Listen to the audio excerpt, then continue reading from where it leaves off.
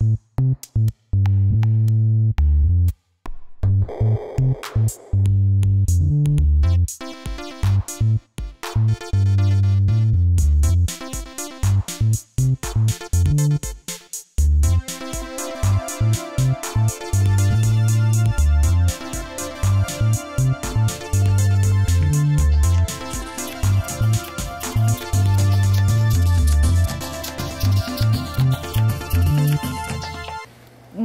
noches, bienvenidos a Filósofo o No Filósofo. Esta noche estamos con César Pagano y yo, Adriana Urrea. Eh, vamos a hacer una conversación eh, un poco a partir de tu, de tu vida y lo que has logrado para esta ciudad y, esta ciudad y el país en punto a cultura. Entonces, muchas gracias, César. Pues un saludo muy cariñoso a todos los salsa vivientes que han asistido a este evento y a los que nos verán. Listo. Y muy emocionado por estar después de 40 años en esta facultad y en este auditorio que lleva el nombre de mi amigo y maestro Camilo Torres Restrepo. Bueno, entonces voy a empezar precisamente con esa vida tuya en la universidad. En el libro que escribiste a, par de, a partir de la en homenaje a, Ismael Rivero, con ocasión de su muerte, nos cuentas que naciste en Medellín, que viviste tu adolescencia entre el barrio Manrique y la granja de Palmira. En tu época de estudiante preferías la universidad viva en lugar de las aulas muertas y que por ello preferiste el viaje y te dedicaste a las causas perdidas en la política. Sí, vivíamos en los años 60 y 70 una etapa como siempre, muy convulsa, muy convulsiva, muy conflictiva en este país. Fue el tiempo que conocí a grandes maestros como Camilo Torres, que estaba aquí desde la capilla de la universidad y que luego se desdobla en un personaje social eh, con una entrega muy generosa y casi con una conciencia de que iba a llegar al sacrificio. También conocí a otra generación, como al maestro Antonio García, a Luis Carlos Pérez, era también otro de los eh, importantes maestros de aquellos tiempos, Gerardo Molina, en fin, podría hablar de muchas personalidades, incluso algunas que todavía, Orlando Fatborda, por supuesto, eh, y algunos profesores que todavía, por fortuna, tiene esta, esta facultad. Pero de todas maneras veíamos cuáles eran los problemas que uh -huh. estábamos notando. Eurocentrismo, es decir, se enseñaba la sociología a partir de Europa, con poca aplicación práctica y método para América Latina. Esa era una lucha de estos maestros que acabo de mencionar, con poca vinculación con la realidad social de este país.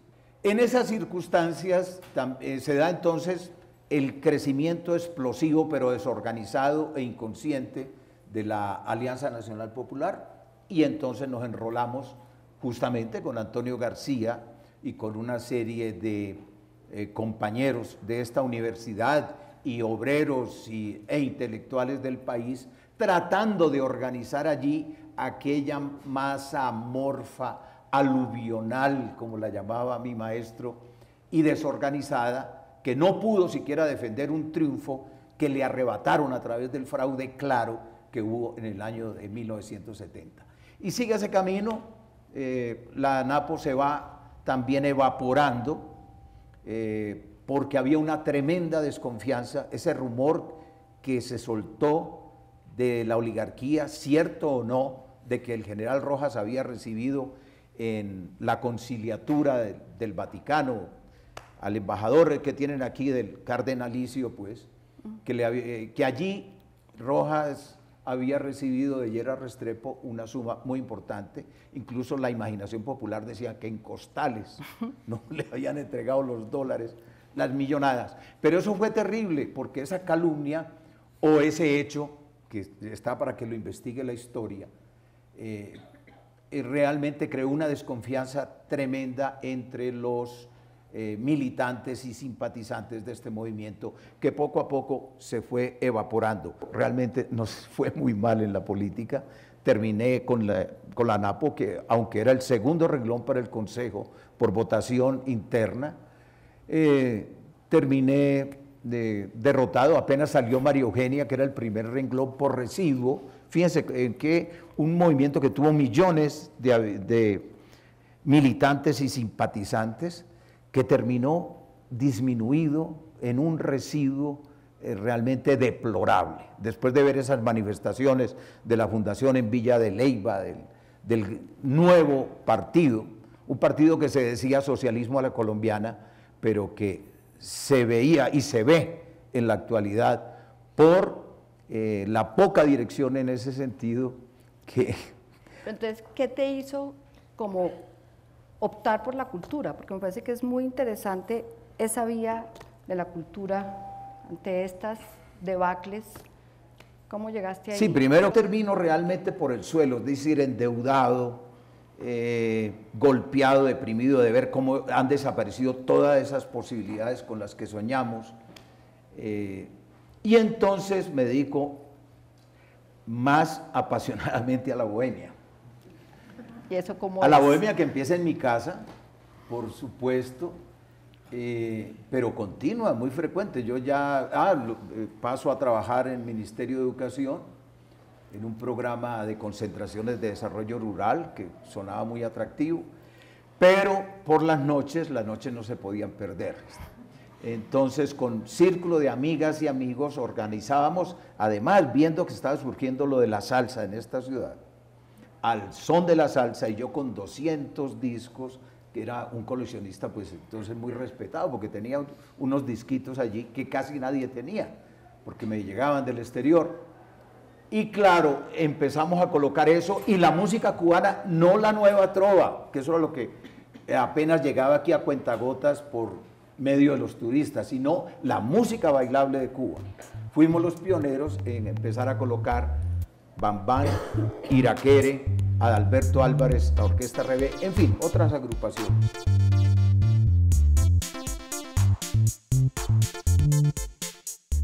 Nosotros tan frecuentes y tan alborotados en la bohemia, eso no lo aguantaban ni los vecinos, ¿no? ni la policía a la cual llamaban, ni, ni mi mujer de aquel tiempo, pobrecita. ¿Y los hijos? Una mujer que trabajaba, los hijos pues estaban tan pequeños que tenía que soportarlo. Aunque ellos se metían al final de cuentas, trasnochaban, pobres. ¿Quién les iba a exigir rendimiento escolar luego? Y entonces, eh, por supuesto, ese matrimonio fue al carajo. Eh, los hijos crecieron en bastante desorden. Eh, pero encontramos para hacer la rumba profesional un sitio. Y por 100 mil pesos, recuerdo la suma, año 1978, adquirimos nosotros ese lugar porque nos lo comunicó Ana María Puyana, que mm, nos dijo, están vendiendo ese lugar, y entonces lo adquirimos y magnífico, porque allí no molestábamos vecinos, no había mujeres ya que nos tuvieran que soportar. Pues ocho años ya de bohemia en la casa suficiente, ya tocaba. Y entonces. Más pública, más grande. Pero lo hicimos, lo hicimos de otra manera, es decir, como ya habíamos recorrido las discotecas de la ciudad buscando la salsa, pero a veces nos encontrábamos que era una salsa muy comercial que imponía la radio y la televisión, como casi siempre sucede, eh, salsa sin criterio, sin, sin, una apreciación musical para decir esto es bueno o malo, no. Siempre había alguien que pagaba allí por, por debajo de la mesa, pagaba para que impulsaran discos muy malos. Nosotros tratamos por lo menos la parte que a mí me correspondió, de presentar una música con criterio, una música selecta del Caribe, la mejor, tanto la que se hacía en Nueva York, Puerto Rico, eh, empezaba a hacerse también en Venezuela, en Colombia, en Perú, en República Dominicana, y eso casi que se extendió por este país. Juan Guillermo Gaviria se encargaba de la parte del decorado, las fotografías, y, las distintas obras artísticas que empezaron a donarnos, que nosotros teníamos algunas y empezaron a donarnos.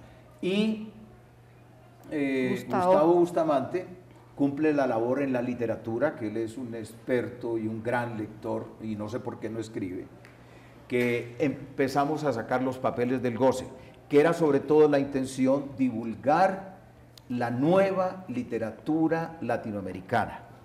Empezamos por sacar, eh, recuerdo, la consagración de la primavera, que era muy voluminoso, había que sacarlo en mimeógrafo, no había fotocopiadoras en aquellos tiempos.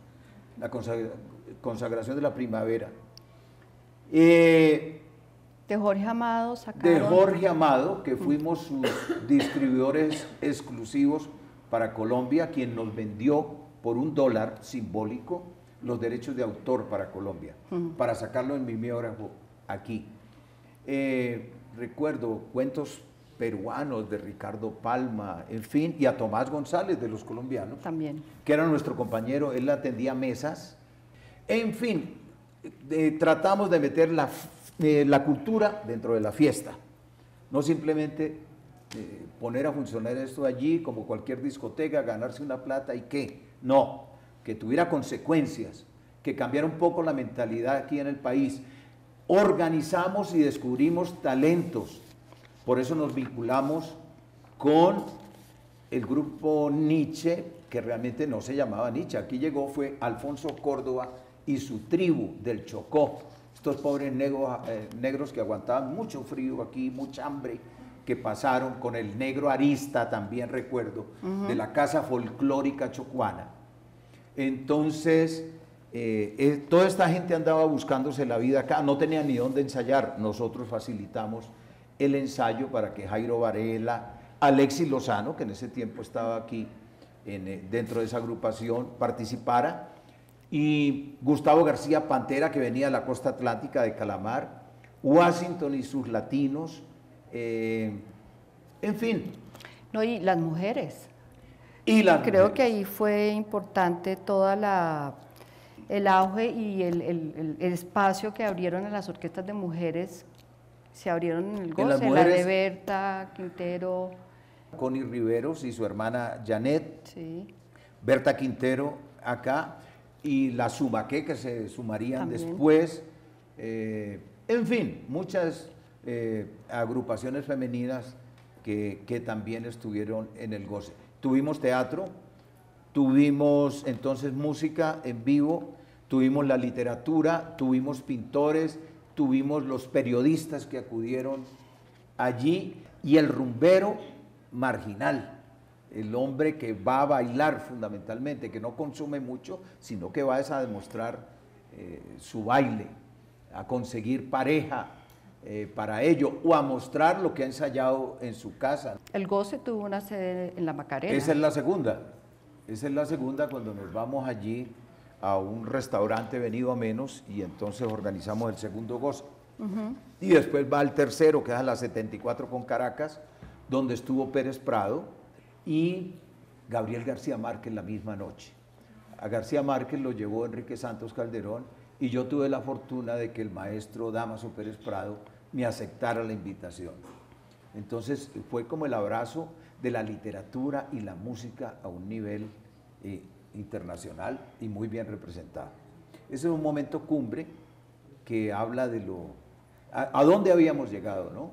Y a dónde queremos continuar, por supuesto, porque continuamos siendo eternamente inconformes.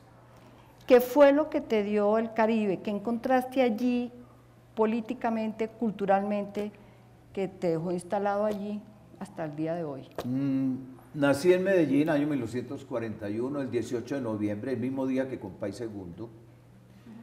Y mi padre, que era eh, agrónomo, ingeniero agrónomo, es trasladado a Palmira. A los tres años voy a Palmira con la familia de la pequeña familia que nacía de 12 que íbamos a hacer. Y allí en Palmira eh, fue el contacto con la música de los negros del Pacífico. Vivíamos en una granja cerca de Manuelita, de Río Paila, todos trabajadores azucareros que iban los sábados a visitar a sus novias, que eran las empleadas en mi casa, que eran tres. Y eso eran fiestas, los sábados por la tarde y los domingos. A mí no se me olvidaba desde muy niño que viví allí hasta casi adolescente, 13, 14 años. Eh, esa extraordinaria alegría, la sabrosura que despedían, los cantos tan bonitos, la interpretación de las guitarras, de las maracas, de algún tambor, y, con qué facilidad esta gente pobre eh, eh, comunicaban esa bondad, ese, eh, esa, ese espíritu optimista de vivir la vida. Después voy a Medellín y lo que me encuentro, regreso, y lo que ya había oído de niño, mm, siempre atento a, la música, me, me meto un poco por la cuestión del ambiente y yo sin tener todavía un criterio, eh, me meto es en, lo que se oye en Medellín. En aquel tiempo se oían más bambucos y pasillos, cosa muy linda, por supuesto. Rancheras y tango. Yo me, crié en el barrio Manrique, allá está la casa Gardeliana, hay una estatua de Gardel, fíjense ustedes, y nos criamos en ese ambiente tanguero, pero que es un ambiente agresivo, eh, de depresión, de, rencor o hacia la mujer traidora, la única mujer que se respeta es la madre, eh, o, de confrontación con el otro. Eso no es gratuito de tanta violencia allí en Medellín. yo creo que buena parte tiene que verlo el mensaje que se comunica. Las rancheras que destilan sangre algunas, y el tango también, diferente al bolero. Fíjense que el bolero puede tener su nostalgia, puede tener melancolía y eso, pero no llega a la sangre. bueno, a menos que haya un bolero de Alcia Costa que por ahí que no es el bolero representativo para mí, es un bolero cantinero y deformado. El bolero es mucho más poético, más elevado, más fino. Bueno, esa es la música que yo conozco.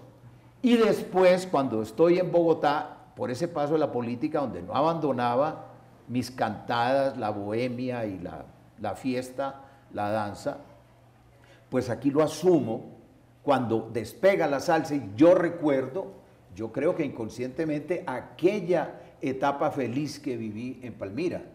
El optimismo, una música social, una música em, eh, hedonista que busca el placer conscientemente, ¿no?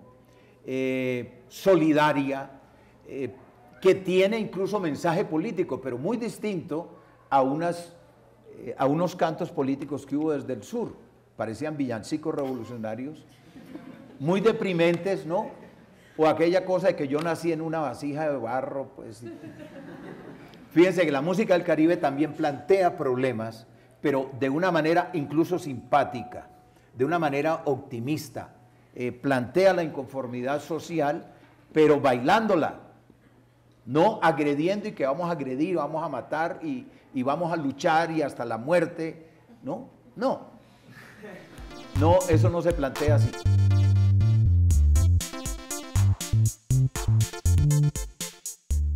Tu idea del Caribe como optimismo a mí me parece un poco conflictiva, eh, porque puede terminar en un lugar común.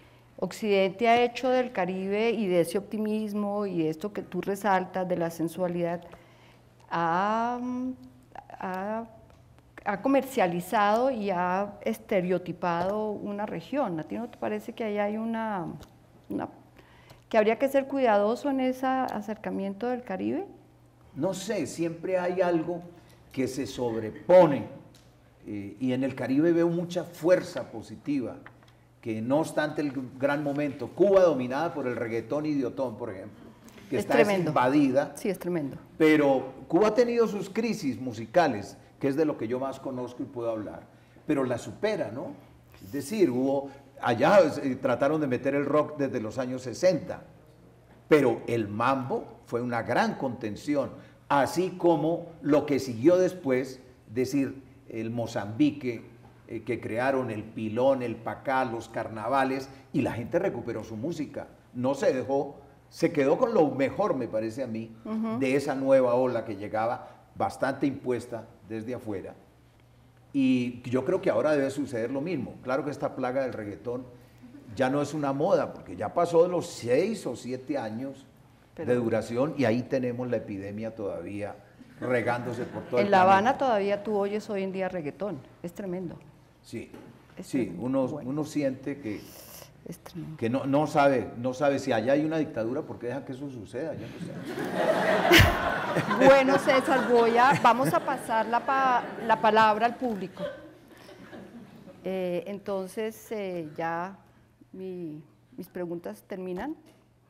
Son ustedes, se quedan con César. Y- ¿me tengo que pa- me tengo que ir?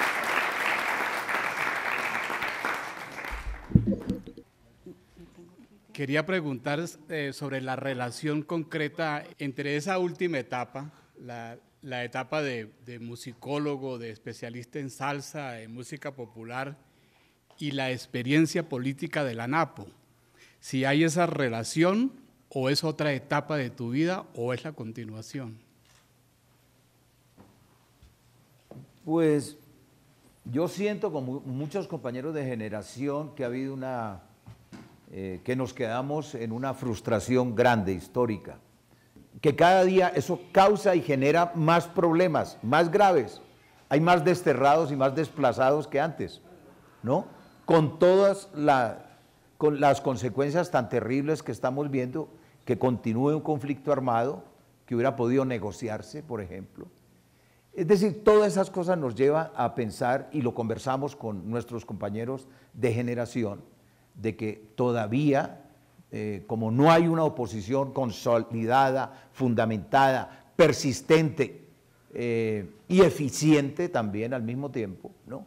Eh, nos consideramos ya a esta edad, entrando a los 70, que realmente es muy poca la posibilidad política que, que- que podamos esperar. Y no sentimos que hubiéramos podido realizar una labor siquiera de modernización del país. No sé. eh, eh, me quedo muy escéptico en el terreno político. Me siento más realizado en la, cuestión de la cultura y la política, eh, política cultural. Yo pienso que Bogotá tiene el público más receptivo, más ilustrado, más inteligente. Yo coloco a veces una música un poco difícil, dijéramos, para cualquier oído. En otra parte yo creo que dejarían la pista sola y hasta chiflarían al disjockey. Aquí no. Yo he estado en otros, en otros lugares, en Cali y en Medellín, y allí la gente eh, no soporta eh, unos, unos ciertos, dijéramos, experimentos al nivel musical. Que claro, yo trato de que tengan ritmo y que sean eh, también sabrosos, ¿no? Que tenga ricura para el cuerpo. Y yo creo que aquí es donde se puede realizar. Y creo que el ejemplo nuestro cundió, es decir, otra serie de lugares que hay informales, que facilitan la comunicación de la gente, donde hay temas culturales, eh, mm, charlas, conferencias y, sobre todo tertulias, ¿no? Eh, alrededor de cualquier tema, de la salsa o del bolero o de defender la noche en Bogotá, que ha sido otra brega que hemos tenido desde Gaitán Maecha, que empezó con unos planes que hicimos reversar, y luego que prosiguió en las alcaldías de Antanas Mocus y este señor Peñalosa, que mm, tenían y tienen un modelo de persona distinta para modelar. Entonces el hombre que se debe acostar temprano, madrugar, hacer ejercicio de mucho deporte, ¿no? que ayuda a cuidar los niños, ayuda a preparar la comida, que eso está muy bien, me parece, eh, y que luego se va a su trabajo y que no debe trasnochar. La noche es pérdida cuando se dedica eh, a las artes o cuando se dedica a crear ideas originales. Creen que toda la gente simplemente se va a embrutecer bebiendo alcohol y que nunca genera nada de noche valioso para la sociedad. Bueno, me han dicho que ya llegó la hora. ¿Cómo sería lo que dirías en el goce en, o en Salomé para Ah. irnos? ¿Cuál es, ¿Cómo terminarías en Salomé para irnos? Salsa y cultura hasta la sepultura. Así cada vez que vamos a Salomé terminamos. Optimismo frente al abismo. Y decía Vargas Vila, vive y vacila.